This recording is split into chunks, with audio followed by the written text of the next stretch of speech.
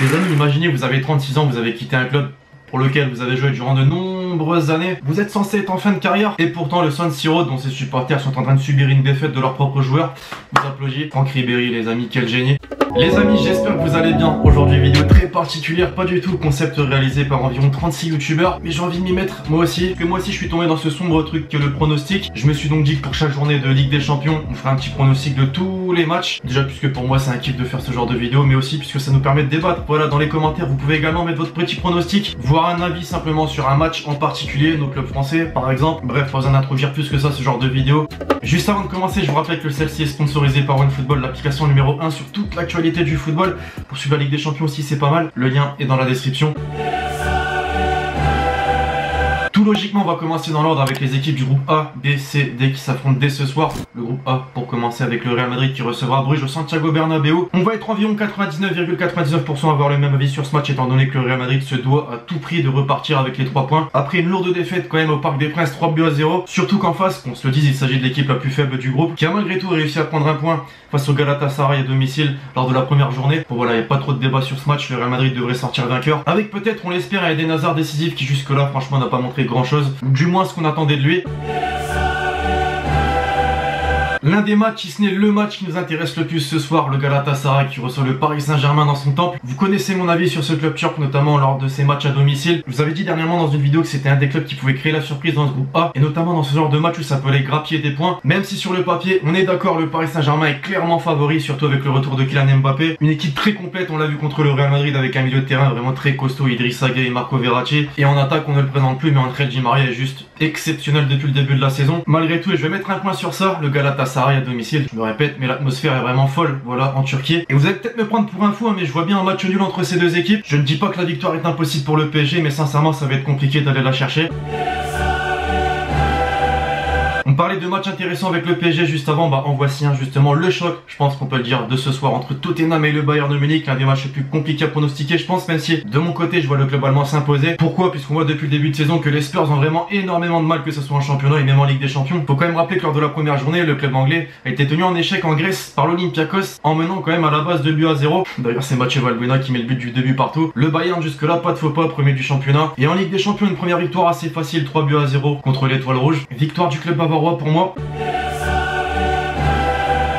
On parlait de Valbuena juste avant. Valbuena, putain, Ligue des Champions, Valbuena en 2019, c'est chaud. Son club, donc l'Olympiakos, se déplace sur la pelouse de l'Étoile Rouge ce soir. Et sans trop parler, pour prendre l'exemple du Galatasaray qui reçoit le PSG, c'est un peu la même chose. Il y a une atmosphère de malade, voilà, et ça se transcende à domicile. Je vois donc forcément une victoire de l'Étoile Rouge, même si ça reste un match assez ouvert. C'est dans ce genre de match que les deux équipes peuvent vraiment grappiller des points. Mais ouais, l'étoile rouge à domicile, sincèrement, on s'en souvient l'année dernière, avait quand même réussi à faire chuter Liverpool 2 buts à 0 quand même, et tenu en échec Naples 0 à 0. Voilà, comme quoi quand t'as tes supporters derrière toi, ça change vraiment beaucoup de choses.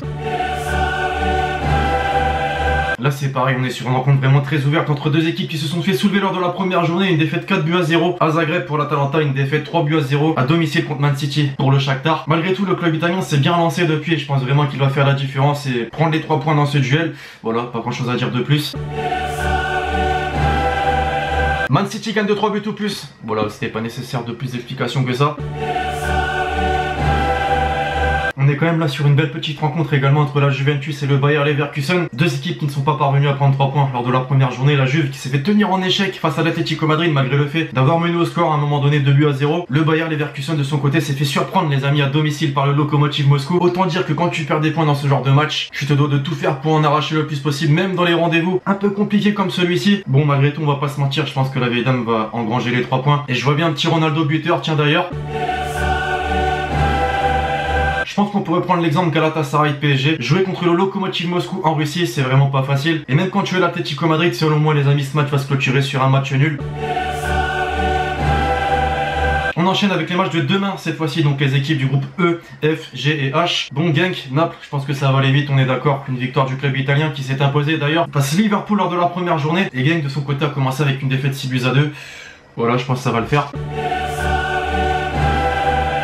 Du côté du champion d'Europe en titre qui se doit de rattraper sa défaite de but à 0 contre Naples, ça va être compliqué mais ça devrait le faire face à Salzbourg, à Anfield. Encore une fois, on parle d'un champion d'Europe, on parle d'une atmosphère particulière, d'une équipe qui doit rattraper un faux pas. Enfin bref, je pense vraiment que les trois points sont vraiment très accessibles pour les Reds. La première rencontre désormais de la deuxième journée du groupe de la mort, Borussia Dortmund, FC Barcelone, Inter Milan. Il y a quand même de très grosses écuries européennes pour qu'on puisse dire que ce groupe est le groupe de la mort. Mais malgré tout, faut pas oublier le Slavia Prague. Les amis, lors de la première journée, on s'en souvient, le club tchèque avait surpris un petit peu tout le monde en tenant en échec l'Inter Milan, en étant tout proche d'ailleurs de repartir avec les 3 points. Malheureusement, c'est un but à la 92e qui a foutu en l'air les 3 points. Voilà, Barrella. Bon, demain, c'est à domicile certes, mais c'est un adversaire encore plus coriace puisque c'est le Borussia Dortmund qui va se déplacer en République tchèque. Et là, ça va être différent. Je vois une victoire du club allemand qui avait tenu en échec le Barça dans son temple et qui là se doit donc dans ce genre de duel de repartir avec les 3 points. Ça va le faire. Le Barça justement recevra encore nous l'Inter Milan. On peut dire que depuis le début de la saison, les Blaugrana ont vraiment beaucoup de mal. En championnat, on se souvient par exemple de la défaite contre les Grenades. On s'est bien racheté d'ici là, mais malgré tout, je pense que c'est assez compliqué. il faut rattraper ce très mauvais début de saison, notamment en Ligue des Champions avec une victoire. Et je pense qu'à domicile contre l'Inter, ça va vraiment le faire. Je vois donc une victoire du club catalan dans son temple. Les Lyonnais, j'ai rien contre eux, mais on est d'accord pour dire que depuis le début de la saison, c'est assez catastrophique ce qui est en train de se passer, malgré le fait qu'il y eu du renouveau, voilà, le départ de Bruno Genesio, l'arrivée de Silvino, de Juninho, de nouveaux joueurs, voilà, c'est un petit peu une nouvelle ère du côté de l'Olympique Lyonnais. Mais pour l'instant, c'est pas trop ça, voilà, ça fait 7 matchs quand même consécutifs qu'il n'y a plus de victoire. Et j'ai vraiment du mal à voir notre club français bah, aller arracher les 3 points, voire même le match nul en Allemagne à Leipzig. Je vois donc pour cette rencontre une victoire du club allemand. Match très compliqué à pronostiquer pour le coup. Voilà, on sait que le Zénith à domicile dans une atmosphère particulière est capable de se transcender pour aller arracher les 3 points. Bon, arracher pour le coup, c'est un grand mot. Ça reste le Benfica en qui reste une équipe abordable sur le papier, mais une équipe surtout qui se doit de rattraper son faux pas. Voilà, avec une défaite à domicile de Buzyn lors de la première journée face à Leipzig, justement l'adversaire de l'Olympique lyonnais. Bon là, je vois donc le match assez serré. Je vois bien un petit match nul entre ces deux équipes. Dernier club français, le LOSC, les amis à domicile, bon voilà, on est d'accord pour dire que lors de la première journée contre l'Ajax, la défaite était méritée, mais sur un score pareil, 3 buts à 0, je pense que ça ne reflétait pas la réalité. Onana, le gardien, bordel, était vraiment exceptionnel. Cette fois-ci, c'est un adversaire de taille qui va être accueilli au stade Pierre-Mauroy, Chelsea, le dernier vainqueur de l'Europa League. Vous allez me prendre pour un cinglé, hein, mais j'ai envie de miser sur une victoire du LOSC. Ouais, j'ai envie de miser comme tous les recruteurs du LOSC cet été sur la jeunesse, je sais pas vous.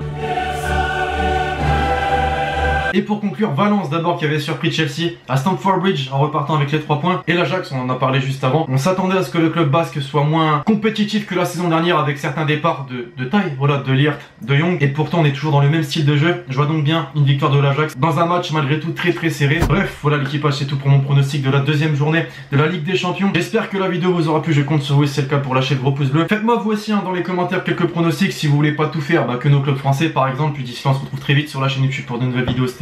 Ciao.